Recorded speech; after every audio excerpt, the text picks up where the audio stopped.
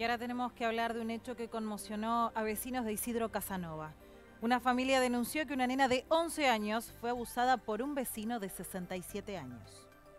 Mamá, quiero bañarme, quiero bañarme, insistió la nena cuando llegó de su casa. La mujer mm, le llamó la atención esta situación, porque bueno, la insistencia de la chica por querer higienizarse. Comenzó a hablar con ella y allí la menor de 11 años contó lo que había pasado.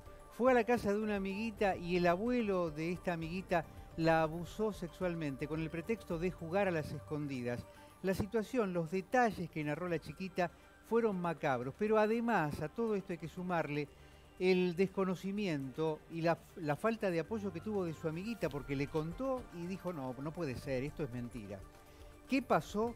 El hombre la obligó a tocarle el pene, la desnudó mientras jugaban a la escondida, la sorprendió en una especie de galponcito donde la nena se había escondido.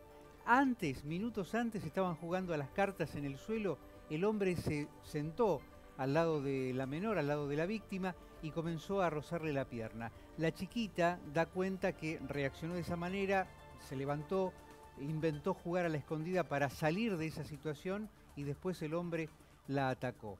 La madre, también cuenta la información, fue inmediatamente a la casa de esta familia, una familia amiga, era conocida, y el hombre cuando la vio, sin ella decir nada, dijo, yo no hice nada, yo no la toqué, yo no abusé de ella, delatándose eh, de esta manera eh, sin intermediar la mujer y acusándolo, no la había acusado de nada en ese momento, pero el hombre eh, dijo eso. Estaba acompañado el agresor de la esposa, que también negó cualquier situación violenta para con la niña. Ahora va a declarar, se esperan en las próximas horas que el hombre declare porque está detenido.